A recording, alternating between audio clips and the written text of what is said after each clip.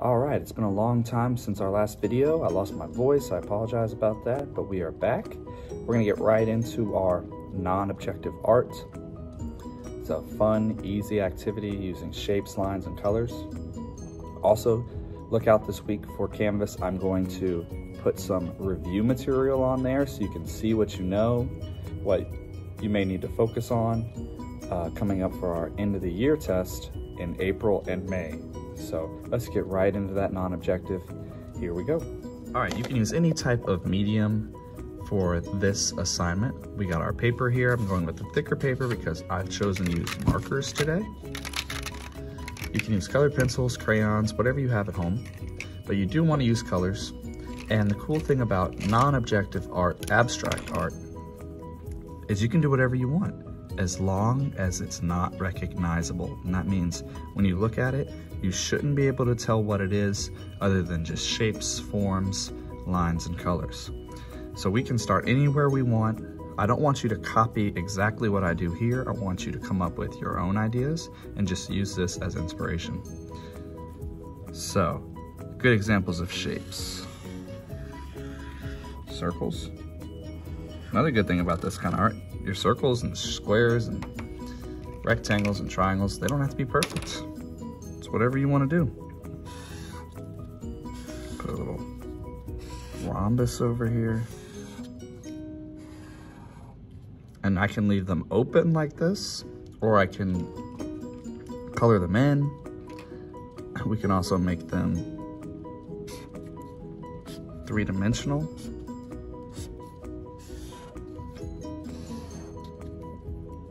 Whatever you want to do works. I mentioned some lines. Make it look like that line is behind there. Maybe another one coming up.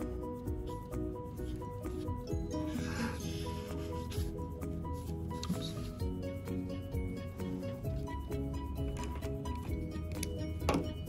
You can use as many colors as you want to. I like to do a lot of overlapping create space. Space shows distance. Color this one in. So I'm gonna just keep adding lines and shapes and colors. Some forms, you know, forms are 3D shapes.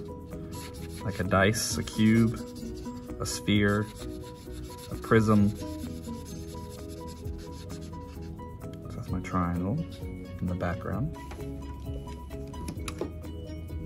We're just gonna keep going and going and going, adding these shapes.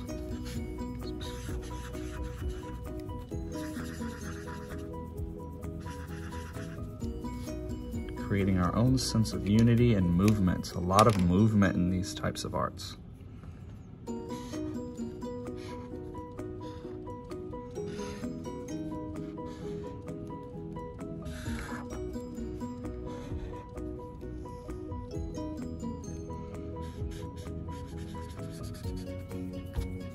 All right, I'm gonna keep adding some stuff here and then I'll show you the finished result. Again, I don't want you to completely copy mine. I just want you to be inspired. We're looking for shapes, colors, and lines.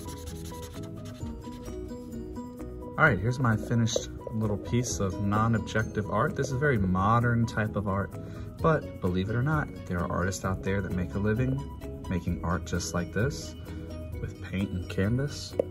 So I'd like for you to try this your own. I'm sure some of you have already done this. If you're in the Zoom, I mentioned this a couple weeks ago. So you can go ahead and post yours up.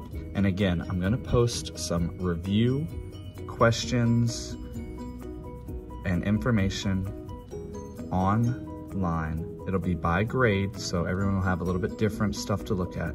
And I'll give you a little bit more instructions on that on Canvas. All right, remember next week is spring break. And then after that, we'll have a new assignment. See you soon.